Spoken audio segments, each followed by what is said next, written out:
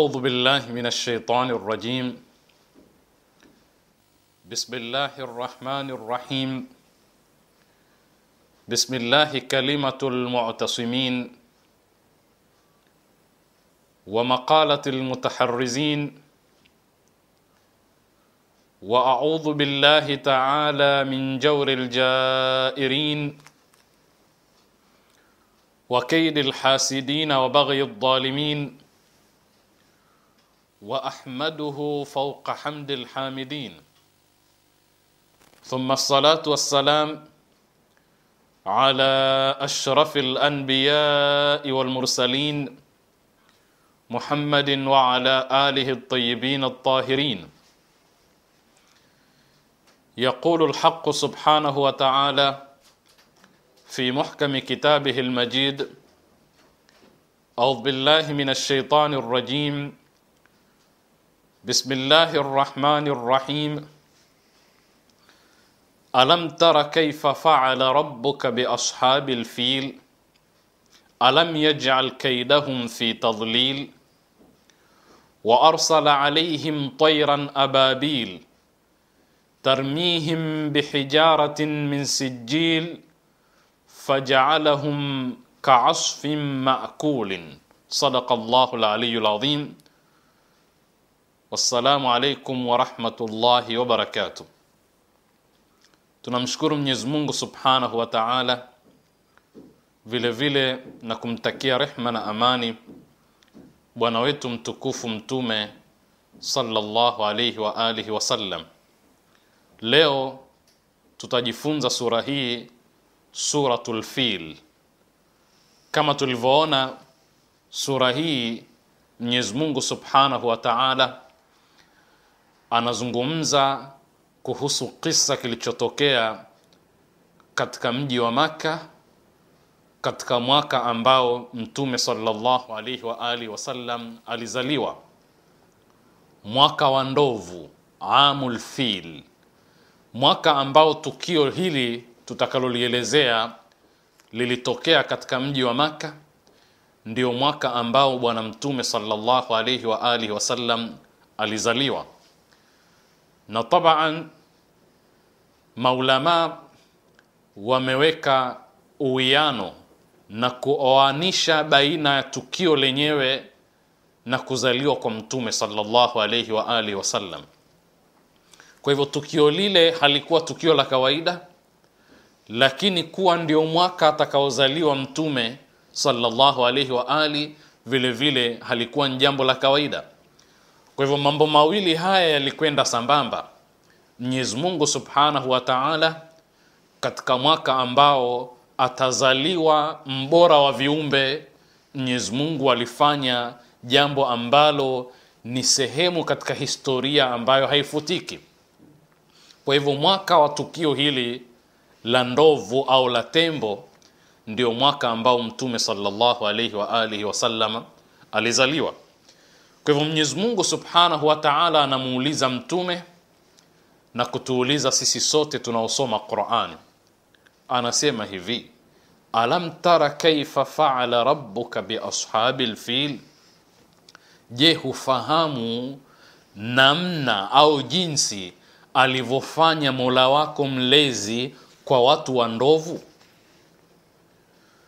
Neno tara hapa ina maana ya kujua na kutambua kujua na kutambua si lazima kwa kuona wewe lakini vile vile hata kwa kusimuliwa na kuhadithiwa.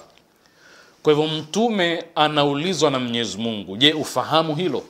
Hujui hilo? Kwa maana ya kwamba tukio hili halikukufikia wewe? Na wale waislamu ambao hawakushuhudia tukio lile tukio lililotokea mwaka wa kuzaliwa mtume wale ambao hawakwepo katika mji wa maka mimi na wewe vile vile tuna habari ya tukio hili ni tukio la kihistoria limesimuliwa kwetu kwa hivyo tuna taarifa za kusimuliwa.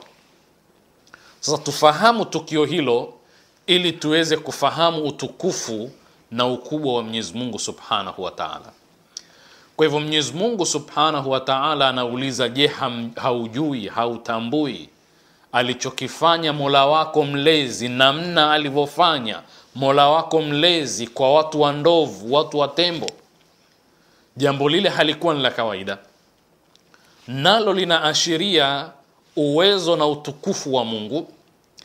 Lakini vile vile sura hii inatufunza ule uhusiano uliopo kama tulivyosema baina ya suratul fil na suratu Quraishi, mpaka pakasemwa kwamba sura hizi ni sura moja, mpaka pakazingatiwa kwamba sura hizi lazima zisomwe pamoja katika swala, kwa sababu zote mbili hizi zinahusu nyumba tukufu ya Mwenyezi Mungu Subhanahu wa Ta'ala, na zinahusu ulinzi wa Mungu, ulinzi alioutoa kwa ajili ya watu wa Maka, lakini vile vile kwa ajili ya nyumba yake tukufu.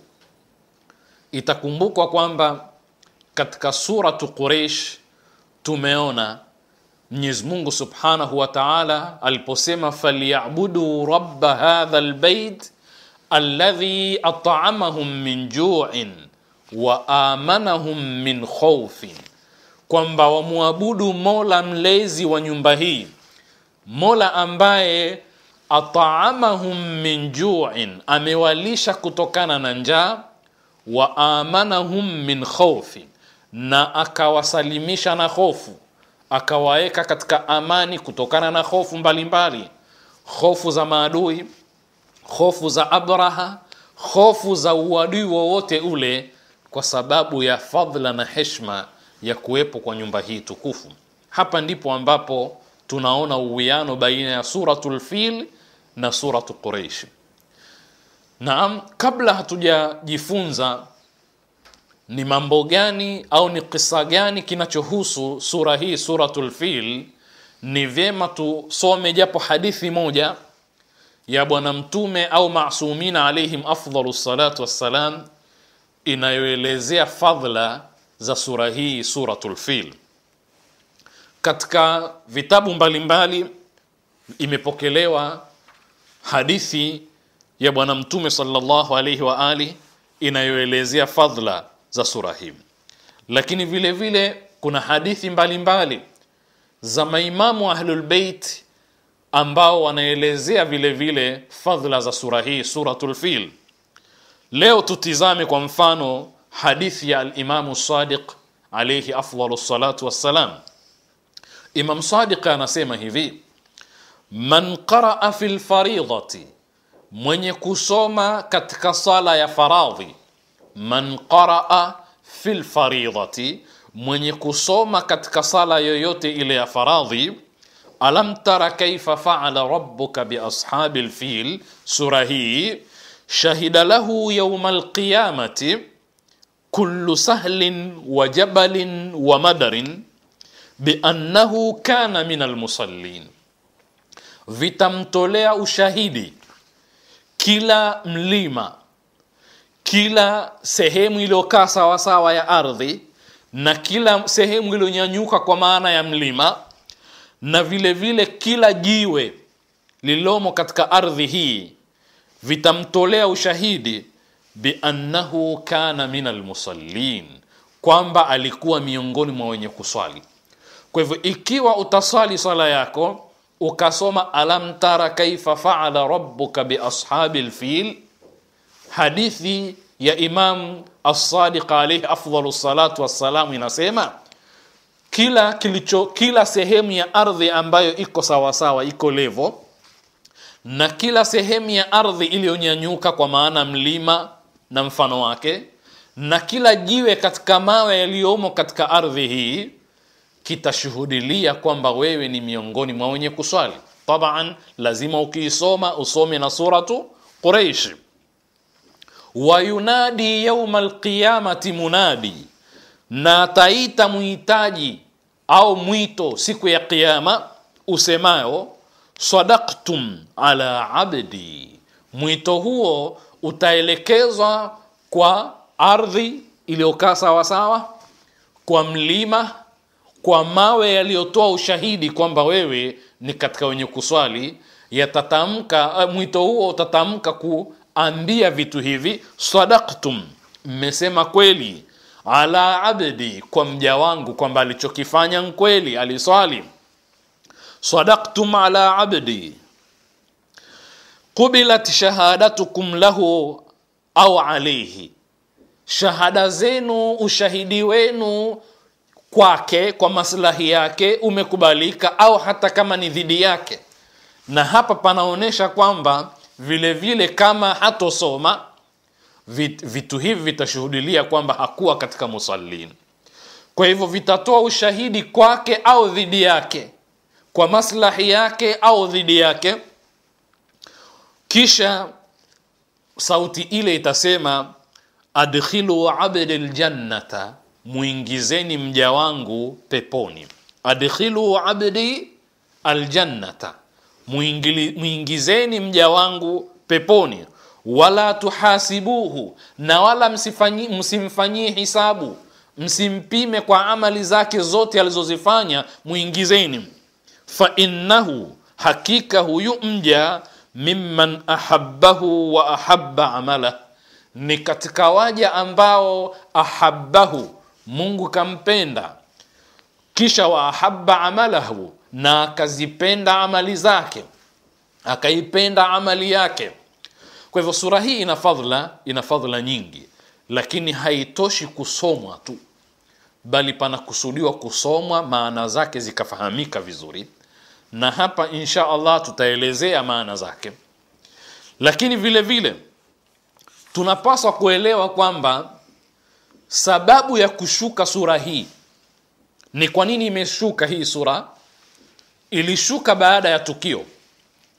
Na katika maelezo yanayoelezwa ni kwamba bwana mtume sallallahu alaihi wa alihi wasallam alipotumwa kwa ajili ya watu wa makka alizungumza nao kwa yale ambayo mwenyezi mungu kamtuma awaeleze kuanzia watu wa nyumbani wa karibu wa andhir ashirataka alaqrabin akawaeleza.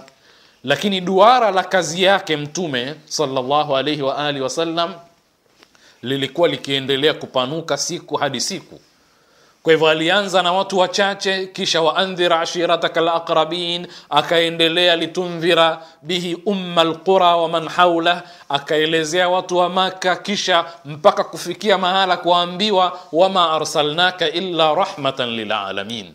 Kwamba sasa wewe tumekutuma ili uwe rehma kwa walimwengu. Lakini huwezi kufika kwa walimwengu bila kuanza kwanza kwa watu wachache wa familia yako nyumbani kwako taratibu duara la, la ulinganiaji linapanuka linapanuka mpaka liwafikie walimwengu. Kama ambavyo leo hii tunaona kwamba hii dini alokuja nayo mtume sallallahu alaihi wa alihi wasallam imo kila mahala katika uso wa dunia. Kwa hivyo kila mahala leo hii panasemwa ashhadu anna muhammadan rasulullah. Na kila mahala kutokana na tabia ya mzunguko wa dunia hii kwa hivyo kila mahala mahala ambapo panamalizika adhana kuna sehemu ingine duniani adhana inaadhiniwa. Na kuna inapokamilika kuna sehemu ingine adhana ndio inaanza. Kwa hivyo kutajwa mwenyezi mungu na mtume hakutokoma katika dunia hii.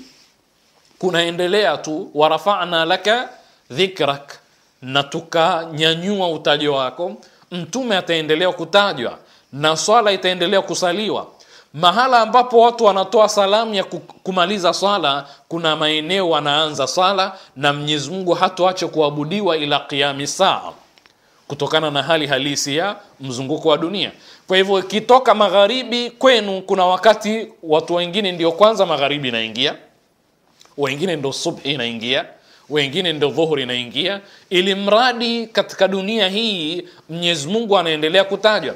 Lakini hili linatokana na kazi ya mtume sallallahu alaihi wa alihi wasallam kwamba mtume hakuacha kufanya kazi yake ili yaifikishe kwa watu wote mpaka ilipofikia mahala akaambiwa alyauma akmaltu lakum dinakum kwamba sasa leo tumekamilisha yale mafunzo yote tuliyoyakusudia kwamba yatawaongoza binadamu ila qiami saa. Sasa mtume sallallahu wa alihi wasallam alikuwa akizungumza na abu talib ami yake. Abu talib ndiye aliyemlea bwana mtume sallallahu alaihi wa alihi wasallam tangu akiwa mdogo. Na yeye mtume akaamua baada ya kuwa sasa na yeye ni mtu mzima ana kwake akaamua kumchukua ali bin abi talib na yeye amlee. Kwa hivyo yeye ni zao la malezi ya abu talib na ali ni zao la mazeo, ma, malezi ya mtume sallallahu alaihi wa alihi wasallam huyu abu talib alikuwa ni mlinzi wa mtume. Alikuwa ni mlinzi wa mtume sallallahu alaihi wa alihi wasallam na abdul muttalib ndiyo mwenye kisa kinachohusiana na suratul fil mwaka alozaliwa bwana mtume sallallahu alaihi wa alihi wasallam riwaya imepokelewa kutoka kwa Al-Imamu ali ibn lhusein zainu labidin alimamu assajjad alaihi ssalam riwaya hii inasema annahu qala anasema kana abu talib yadhribu an rasulillah sallallahu alaihi wa alihi bisaifihi ila an qal alikwepo siku moja abu talib amekaa na mtume sallallahu alaihi wa alihi. Wanazungumza katika mazungumzo ya kawaida kisha abu talib akamwelekea huyu mwanaye aliyemlea mtoto wa ndugu yake akaanza kumuuliza yabna akhi ewe mtoto wa ndugu yangu ndugu yangu abdullah marehemu ila nnasi kafatan ursilta am ila qaumika khasatan wewe umetumwa kwa watu wote walimwengu wote au umetumwa kwa ajili ya watu wako tu watu wa maka makureshi eh, waarabu tu au mfano wake. Hili ni suali abu talibi anamuuliza bwana mtume salllahu alaihi wa ali mwanzoni mwa utume wa bwana mtume salllahu alaihi wa alihi wasallam. Qal mtume akamjibu kwa kusema la bal ila nnasi ursiltu kafatan alabyada walaswada walarabiya walajamiya walladhi nafsi biyadihi la ad'uwanna ila hadha lamri alabyada al-abyadha wa man ala ruusi ljibali wa man fi lujaji lbihari wala ad'uwanna sanata farisa waruma fahayarat quraishu wastakbarat. Akajibu zaidi ya maelezo mafupi hakusema tu kwamba nimetumwa kwa ajili ya watu wote lakini alitaka kuwaonesha kwamba si hivyo tu bali kile mnachokiona kuwa ni jambo kubwa sana na kuna dola kubwa ambalo ni hatari au kuna madola makubwa hatari ya kirumi na ya kifursi waajemi na wafursi nataka mtambue kwamba mimi nina mawazo na mtazamo mkubwa sana. Na hapa tunajifunza katika sura hii kwamba mtu asiwe na malengo madogo asiwe na malengo finyo asifikirie kuwa awe mfanyabiashara mdogo tu awe mwalimu mdogo tu awe kiongozi mdogo tu awe sijui na cheo kidogo tu awe na malengo makubwa.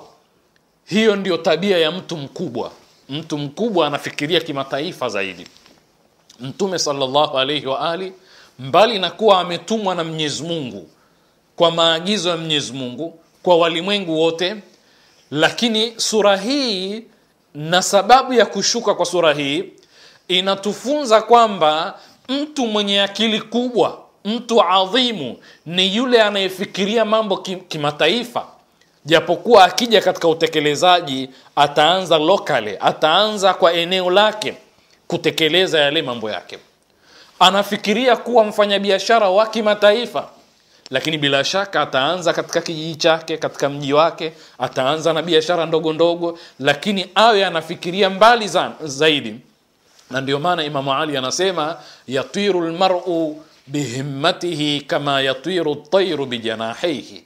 Binadamu anaweza kupaa kwa ile mipango yake kwa tamaa yake kwa mikakati yake anaweza kupaa kama vile ndege anavyopaa kwa mbawa zake ina maana unapokuwa na malengo makubwa yale malengo target zako objective zako ndo zitakuwa msukumo wako wa kufanya kazi kwa jitihada zaidi. Usifikirie wewe kama mwanafunzi kwamba uwe katika kumi bora katika shule katika darasa lako. Fikiria kuwa bora katika shule yako bali katika wilaya yako katika mkoa wako. Fikiria kuwa bora katika wanafunzi wa nchi yako hivi ndivyo mtu adhimu mtu mwenye akili kubwa anavyofikiria. Kwa hivyo kwa kadri unavyokuwa na malengo madogo jitihada zako vile vile zitakuwa ndogo. Usifikirie kuwa na elimu ya fulani mtu mdogo. Fikiria kuwa na elimu kubwa zaidi. Usifikirie kuwa na digrii moja. Fikiria kuwa na zaidi ya hapo. Kwa hivyo fikiria kuwa kama imamu ali. Taban hutomfikia imamu ali lakini kadri utakavyokuwa umelenga kuwa kama imamu ali basi utakuwa chini yake kidogo. Kwa hivyo mtizame zaidi na ndio maana uislamu unatufunza wanasema laqad kana lakum fi rasulillahi uswatun hasana. Kwamba sisi kama waislamu tukikaa tumwangalie mtume tuangalie tufikirie swala zetu kuwa kama za mtume funga zetu kuwa kama za mtume uchamungu wetu kuwa kama wa mtume awe ni kigezo tabani hatutomfikia. Lakini kwa kumweka mtume adhimu pale tulipomweka ikawa tunamlenga yeye itatusukuma kwenda kasi zaidi japo tutakuwa nyuma ya mtume kidogo. Sasa mtume anaulizwa risala yako hii ni kwa nani? Je kwa watu wako hasa? Kwa makureishi tu? Au kwa waarabu tu? Au kwa watu wa maka tu akasema la mimi bwana sifikirii hivyo tunafikiria zaidi ya hapo. Tumsikilize mtume anasemaje? Anasema kumjibu abu talib la bal ila nnasi ursiltu kafatan la sivyo bal mimi nimetumwa kwa watu wote.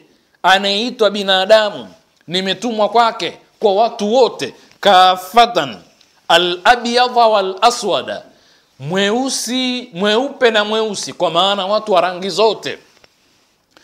Walarabia wal, aj, walajamiya nimetumwa kwa watu wote.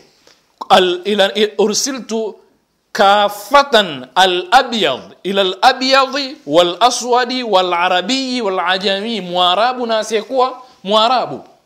Kwa hivyo nimetumwa kwa watu wote walladhi nafsi biyadi. Na naapa kwa yule ambaye nafsi yangu imo mikononi mwake. Yani naapa kwa mwenyezi mungu subhanahu wa taala. La aduwanna ila hadha lamri nitamlingania nita jambo hili yani dini hii uislamu. Nitamlingania vile vile alabyada walaswada. Mweupe na mweusi waman ala ruusi ljibali hata kama wakiwa mbali wakawa katika vilele vya milima. Waman fi lujaji lbihar hata kama wakiwa katikati ya bahari kuashiria umbali kuashiria masafa ya watu kuashiria, kwamba risala inatakiwa ifike popote popote pale. Kwa hivyo wanaoishi katika vilele tunaweza tukasema wanaoishi katika vilele vya milima wanaoishi katika visiwa mbalimbali mbali, ambapo huwezi ukafika pia watafikishiwa risala hii. Lengo la mtume lilikuwa hilo. Atafikaje kule? Hilo swala la pili lakini tageti ya mtume ni kwamba kila mtu afikiwe na risala hii. Alikuwa mkubwa namna hiyo bwana mtume sallallahu alaihi wa na akasema na nitawalingania nita, nita vile vile wafursi na warumi lakini bwana mtume sallallahu alaihi wa ali aliposema wafursi na warumi na kila mtu istakbarat quraish walilikuza sana hilo Makuraish. fahayarat quraisha wastakbarat fahayarat quraishu wastakbarat wakatahayari makureishi na wakalifanya kuwa ni jambo kubwa sana kwa sababu wafursi na warumi wanafahamika kwamba ni mataifa makubwa na huyu Muhammad huyu mtu mdogo sana wa maka pale hana chochote. Anazungumza habari ya wafursi na warumi madola makubwa ya wakati huo. Kwa hivyo anasema hivi makureshi wakatahayari na wakalifanya kuwa ni jambo kubwa. Wakalat, wakasema makureshi kumwambia nani? Kumwambia abu talib ama tasmau ila bni akhika ma yaqul je husikii huyu mtoto wa ndugu yako? Yale anayoyasema. Mambo makubwa haya hayafai kuachiwa hivi hivi. Anatutia hatarini sisi. Tutawaambia nini hawa mataifa makubwa yeye akishaanza kuzungumza namna hiyo kwa lugha ya jeuri kwa watu kama wale? Wamsikilize mtu kama yeye. Kwa hivyo wakamwelekea sasa abu talib unasikia? Unasikia mambo hayo bwana? Mambo haya si madogo haya. Kwa hivyo anasema hivi wallahi wakasema wallahi lau samiat bihadha farisu warum lakhtatafatna min ardhina walaqalaat lkabata hajaran hajara.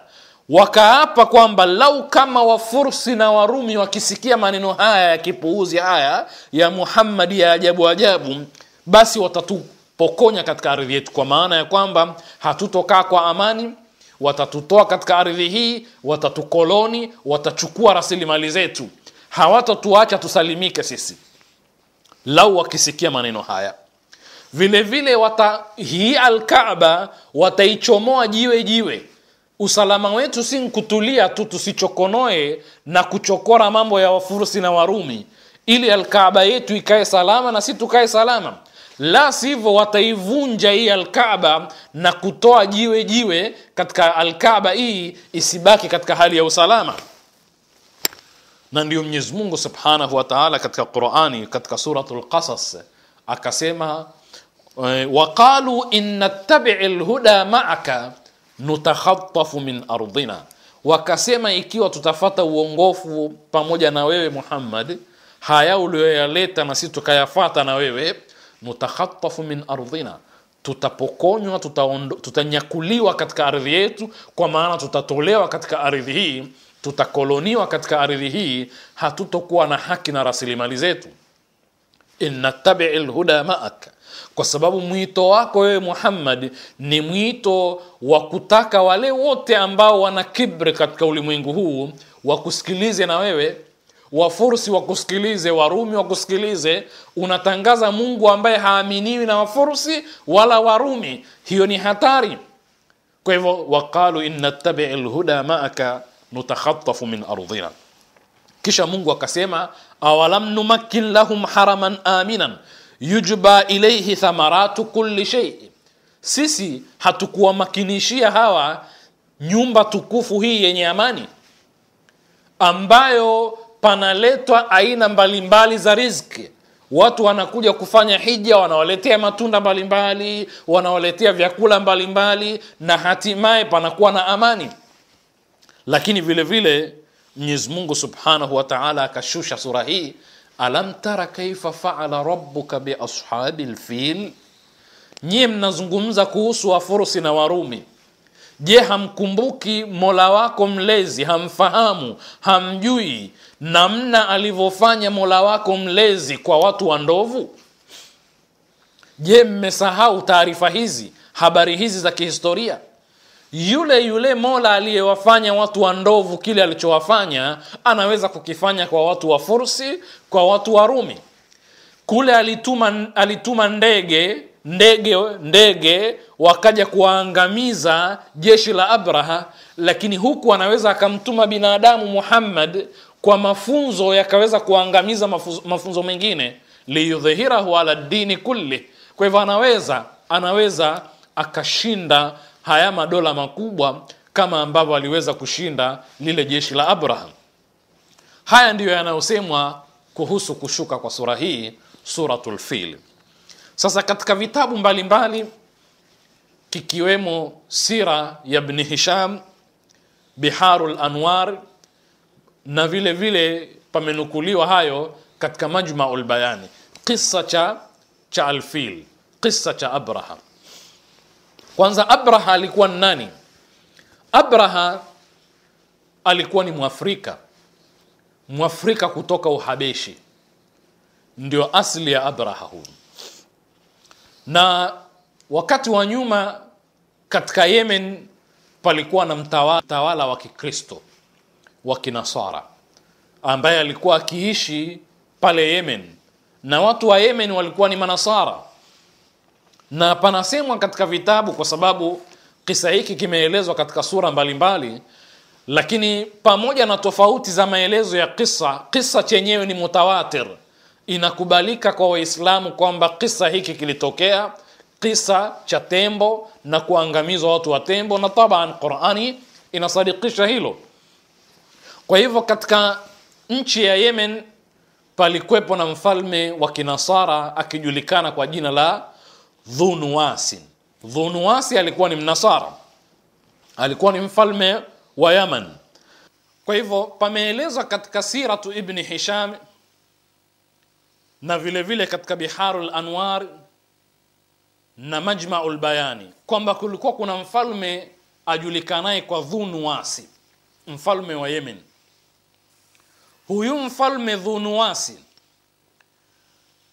aliwakera manasara waliokuwa jirani na Yemen. Yalikuwa ni mfalme wa Yemen, akawakera manasara waliokuwa jirani na Yemen. Hawa ni manasara wana jirani. Manasara hawa waliuliwa, wengine wakakerwa, lakini baada ya kero ile manasara wakashtaki kwa mfalme wa, wa Kirumi Kaisar kwa wakati huo, mfalme Kaisari wa wakati huo, kwa sababu Kaisar ni taito ya wale waliokuwa wakitawala katika Urumi. Kwa hiyo kisa kinasema hivi, baada ya kuwa Dhunuwasi kawaadhibu sana manasara wa Najirani, akawakera na kuua baadhi, aliponyoka mmoja wao akiitwa Daus. Bwana Dausi huyu aliponyoka akafanya safari yake ndefu mpaka kufika kwa mfalme wa, wa, wa, wa Kirumi wa Kaisar. Alipofika akashtaki kwamba kuna mfalme kule Yemen ajulikanaye kwa jina la Dhunuasi ametufanyia kadha na kadha na kadha na kadha. Kwa hiyo akatoa maelezo juu ya ile dhulma waliofanyiwa na Dhunuasin. Kwa hivyo baada ya hapo, kwa sababu katika makao makuu ya, ya, ya, ya, ya dola ya Kirumi ni mbali ukilinganisha na Yemen, basi yule mfalme akamwagiza mfalme wa Uhabeshi kwa wakati huo, akamwagiza mfalme wa Uhabeshi ili yeye achukue jukumu la kupambana na Dhunuwasi, Dhunuwasi ambaye ni mfalme wa Yemen. Kwa hivyo kisa kilikuwa hivi: Dhunuasi ni mfalme wa Yemen, amewakera manasara wanajirani jirani ya Yemen. Manaswara wale mmoja wao akaenda kushtaki kwenye dola ya Kirumi, dola kubwa, na kwa kuwa ni mbali kule, yule mfalme Kaisar wa wakati ule akatoa maagizo kwa mfalme wa Uhabeshi kwa wakati huo Annajashi, ambapo ilikuwa ncheo vile vile cha mfalme yoyote anayetawala Uhabeshi anajulikana kwa jina la Najashi. Akatoa maagizo kwamba huyu sasa mfalme wa Uhabeshi aende akapambane na Dhunuasi. Likatumwa jeshi kubwa sana, likatoka Uhabeshi likaenda Yemen kupigana na na Mwarabu mtawala wa Kiarabu aliyewadhulumu manasara ajulikanaye kwa jina la Dhunuwasi. Katika jeshi lile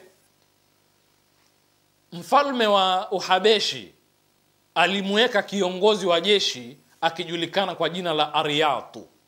Ariatu ndio alikuwa kiongozi wa jeshi katika jeshi lile. Katika majemedari wa jeshi lile la ariat kwenda kupambana na Dhunuasi wa Yemen, Abraha alikuwa ni ni mwanajeshi wa kawaida, ni jemedari, yuko katika lile jeshi. Kwa hivyo wakaenda wakafika Yemen, wakapigana na dhunuasi wakamshinda dhunuasi utawala wa Kihabeshi ukatawala Yemen. Lakini huyu Abraha akageuka kupa, akapambana sasa na kiongozi wake, akapambana na ariat akaweza kumpiga ariat na yeye sasa ndo akawa mtawala. Likamkera Najashi, mfalme wa Uhabeshi, lakini kabla hajafanya chochote dhidi yake, kabla hajamtumia jeshi ili ampige, yule Abraha akakubali kuwa chini ya mamlaka ya, ya, ya, ya Najashi, akajishusha chini, akaonyesha utii wake kwa mfalme wa Uhabeshi. Na akajenga kanisa kubwa sana pale Yemen, nalo akamzawadia ilo kanisa, akajipendekeza kwa kanisa hilo kubwa kwa, kwa mfalme Najashi. Kwa hiyo baada ya hapo Abraha akawa sasa ndio mtawala rasmi wa, wa Yemen. Abraha huyu panasemwa kwamba alikuwa akiishi na Waarabu sasa katika ardhi ya Yemen, Panasemwa katika kila kwamba baadhi ya wale waarabu walinajisisha na kuchafua lile kanisa wengine wanasema kwamba la walichoma lile kanisa usiku. Lakini kwa ujumla ni kwamba abraha alipenda kuona kwamba watu wa yemen wanatukuza lile kanisa na kuliheshimu. Lakini badala yake waarabu walikuwa wakitoka pale yemen wakienda mpaka makka wakifanya hija na wakiliacha lile kanisa kwa hivyo wakitoka na bidhaa zao na mali zao na nini na wakikusudia kila mwaka kwenda e, kwenda makka kwa ajili ya nyumba tukufu ya mwenyezi mungu subhanahu wa taala. Hili linasemwa kwamba lilimkera sana abraham. Na likamfanya abraha aazimie kwamba aivunje alkaaba. Kwa hivyo alitoka abraha na kundi kubwa la askari wanajeshi na panasemekana kwamba tembo alikuwa ni mmoja tu. Katika kila ni kwamba tembo yule alikuwa ni ni mmoja. Kwa hivyo alam tara kaifa faala rabbuka biashabi lfil waliitwa ashabu lfil kwa pamoja na kuwa alikuwa ni tembo mmoja. Kwa hivyo sio alfialu ashabu lfil ni mabwana waliokuja na jeshi kubwa lakini wakiwa na tembo wao mmoja kuashiria ukubwa wa jeshi lao na nguvu walizokuwa nazo katika kupambana. Lakini kuna kila nyingine zinazosemwa kwamba walikuwa na zaidi ya ya, ya, ya, ya tembo mmoja. Sasa hawa walitoka yemen kwenda maka kwa kudhamiria kuvunja ile alkaba walipofika walihitajia kukutana na yule mhusika mkuu katika mji wa maka kiongozi wao wakaelezwa kwamba kiongozi ni Abdul Muttalib. Abdul Muttalib ni babu yake na mtume sallallahu alayhi wa alihi wasallam.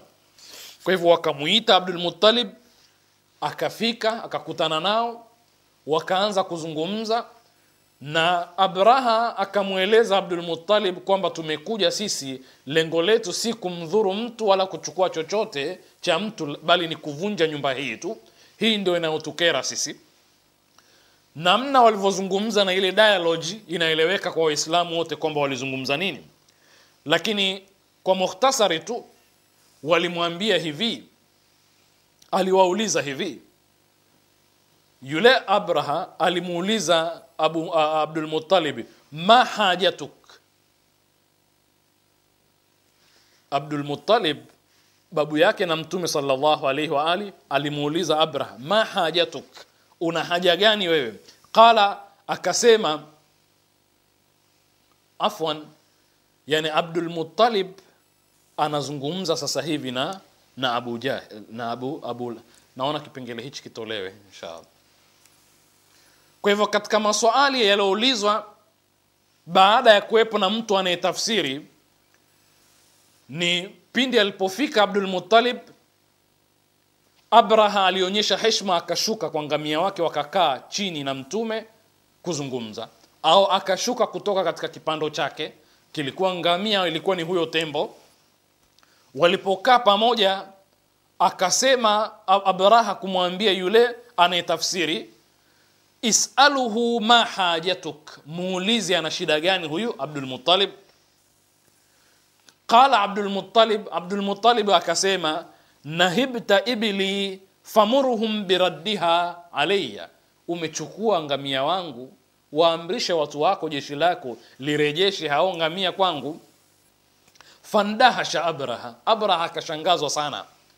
Waqala limutarjimi akamwambia yule mkalimani wake qul lahu innahu innahu ihtalla makanan fi qalbi hina raaitu mwambie kwamba mimi nimekukuza nimekuadhimisha nilipokuona nkajua ni mtu adhimu.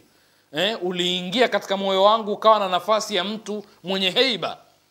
Walana kad sakata min aini lakini sasa hivi nimeangusha nimeangusha heshima yako yote. Kwa nini? Anta tatahadatha an iblik unazungumza kuhusu ngamia wako. Wala tadhkuru lkaba wahiya sharafuka wa sharafu ajdadik na wala uzungumzie alkaba wakati ndiyo heshma yako na heshma ya wazee wako waliotangulia. Wa ana kadimtu lihadmiha ili hali mi nimekuja kuivunja alkaba wewe unazungumzia vitu vidogo hivi badala ya kuzungumzia heshma yenu alkaba qala abdulmutalib abdulmutalib akasema ana rabu libli mimi ndio mlezi msimamizi mmiliki wa hawa ngamia. Walilbeiti rabbun yahmihi. Na hii nyumba ina mola mlezi anayeilinda. Kwa hivyo mi ninahusika na, na mifugo hii na nyumba ina anayehusika. Kisha Abdul Muttalib akarudi kwa watu wake akawapa taarifa hii na akawataka watoke katika mji ili wakae mbali ikitokea adhabu yoyote isiwasibu vile vile watu wa makka. Na akamtuma mmoja katika wanaye akaenda kusimama katika mlima wa abu qubais ili atizame ishara na alama zozote zile za tukio litakalotokea. Kwa sababu abdulmutalib alikuwa na uhakika kwamba lazima patokee tukio ambalo litapelekea kuangamizwa.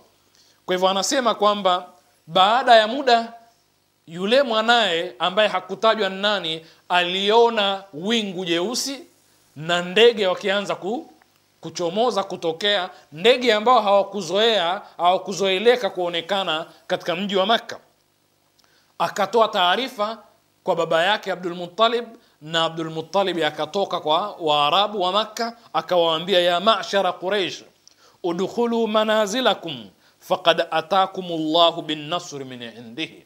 Enyi makureshi ingieni katika majumba yenu. Hakika mwenyezi mungu ameshakuja na nusra kutoka kwake. Kwa hivyo ndipo likatokea tukio lile ambalo tutalielezea katika sura hii. Nasallallahu alauna launa waltaufiqa lima يحبه ويرضاه إنه ولي التوفيق وبه نستعين والحمد لله رب العالمين.